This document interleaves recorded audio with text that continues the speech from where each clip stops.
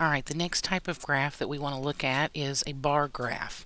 And a bar graph is called a bar graph because we have um, a series of bars. And it is very nice to use a bar graph when you want to compare things because, you know, very quickly and easily we can see, you know, that there's more of one particular item than there is of another. We can look at the comparison. All right, let's look at this particular bar graph. Oops, missed it there. And we'll see what's going on. This is talking about fan appeal. And along the bottom here, we have our categories. These are the different sports. Um, our titles here on the the horizontal and the vertical here always tell us what's going on. So this, those are very important. So this is listing out our sports. We have football, baseball, basketball, college football, college basketball, and golf. Then along the vertical here, it says we have these are the number of adult fans, and this is for every 100 adults surveyed. So this tells us that they asked 100 people and these are the number of people who said that they enjoy each one of these categories. So, for instance, it looks like college football here, since this um, ends, there are bar ends right here, it looks like about 10 people said that they enjoy college football. So, this is how we read our bar graphs.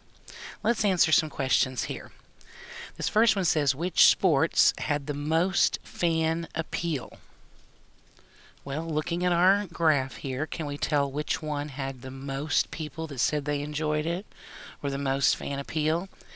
Looks like the pro football because that has the highest number of people who said that they enjoyed it. So, pro football. Excuse me. Now, for our next question, it says, which sport has the least fan appeal? So, we're talking here now about the smallest well, as we look at our graph here, it looks like it is a very close race between college basketball and golf.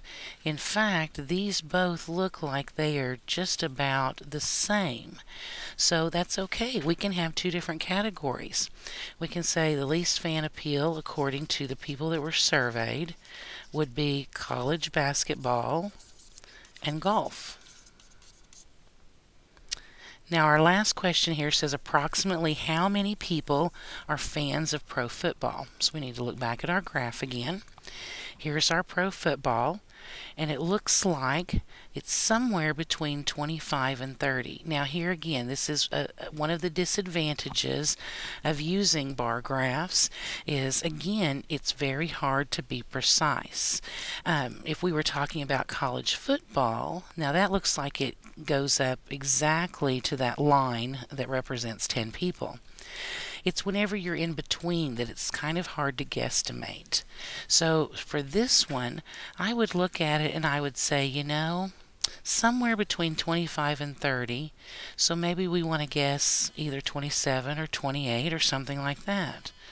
So I would say approximately, and approximately is these two little squiggly lines, 27 or 28 people. And that would be acceptable.